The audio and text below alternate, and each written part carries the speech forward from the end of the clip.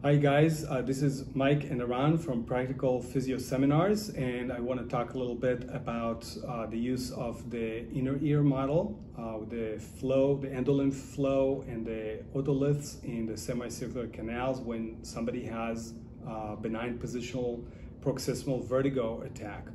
So when you have a vertigo attack, essentially what happened is um, microscopic crystals called otoconia are dislodged from the utricle and flow into one of the semicircular canals. Uh, what this model uh, shows is a good um,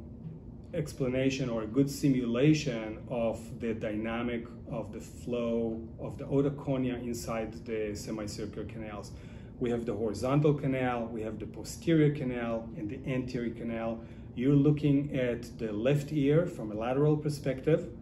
and uh, this is working very well for explaining to patients exactly what's happening. So if we are looking at the uh, posterior canal right here, when a person is seated upright, um,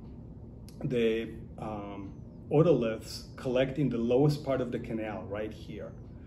Well, that's when the otoliths are dislodged from the utricle and are already in the canal.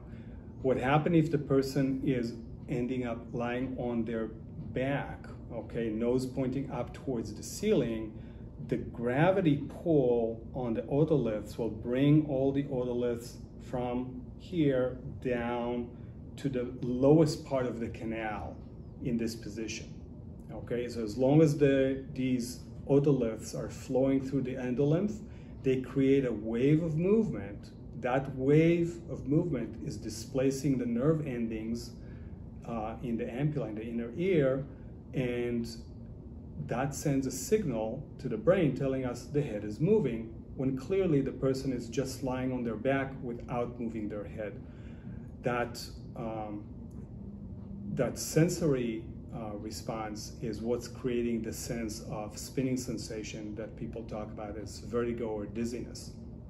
Um, once the crystals settle all the way at the bottom, at the lowest part of the canal, they stop moving because they don't have any other place to move to. Gravity pulls them down,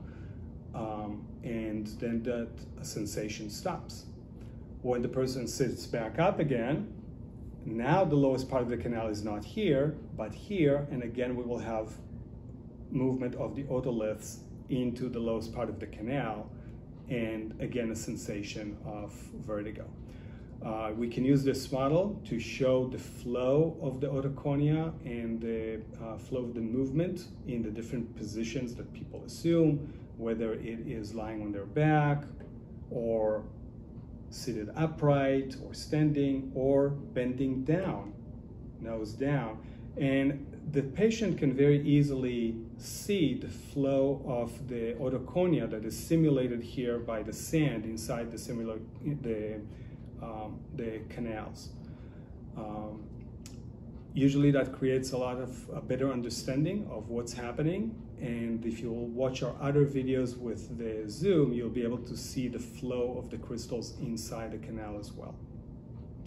thanks for watching the video and uh, look at uh, the rest of our uh, the video on our channel. Take care